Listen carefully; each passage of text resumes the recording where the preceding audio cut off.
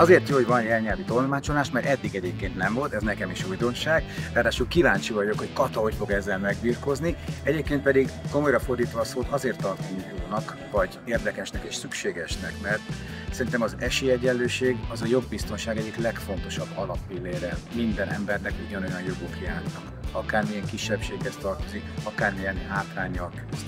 Azt gondolom, hogy a siketek is nagyot hallunk számára, lehet az egy érdekes és hasznos dolog, hogy valaki elmutogatja még az én szövegeimet is.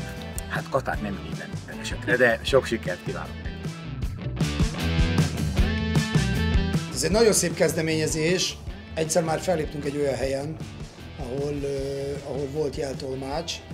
El nem tudom képzelni, hogy hogy tudja követni, amit mi mondunk.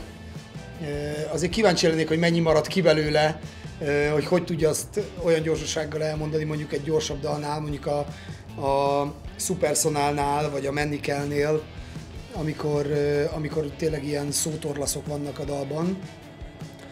De mindenféleképpen egy, egy nagyon szép dolog.